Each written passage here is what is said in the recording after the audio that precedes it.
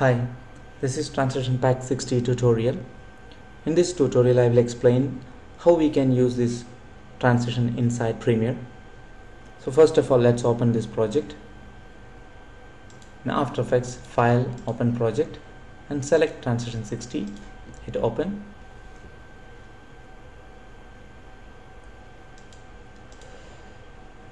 Inside Project Panel, open Transition Colorful Shape Opener folder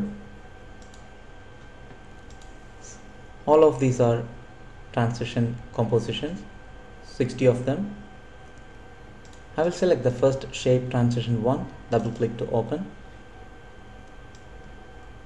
Now when I move to the timeline you can see the transition.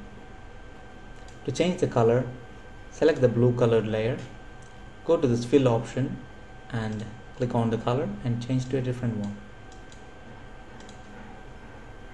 move forward a little bit more. Select the second color and change to a different one. After done with the editing go to composition add to render queue and in output module click on lossless select a format and in video output make sure in channels RGB plus alpha is selected hit OK then in output 2 give a name and render. This is the first method. So this one can be used as a video inside Premiere. The second method is go to Premiere already placed two images inside the timeline. Now go to file Adobe Dynamic Link import After Effects composition. We will select the same transition.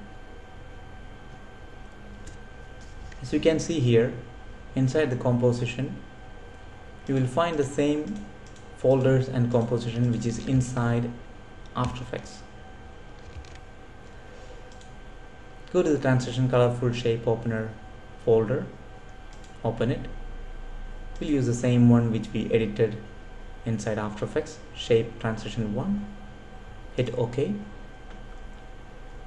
Now the transition is inside Premiere.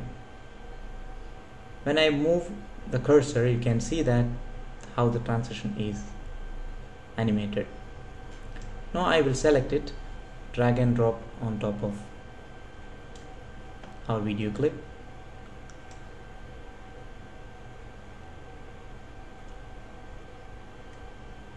now make sure the cut is exactly when the color fills the whole screen.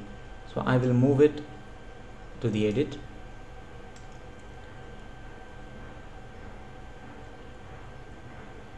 This is how we can use this transition inside Premiere. Second method. This is more much better than the first method because if I am changing or editing the transition here for instance if I am change the color here and save it it will be automatically updated inside Premiere.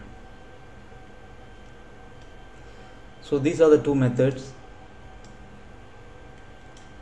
to use this transition inside Premiere I hope this tutorial helps and if you have any further questions please let me know. Thank you for watching. Take care.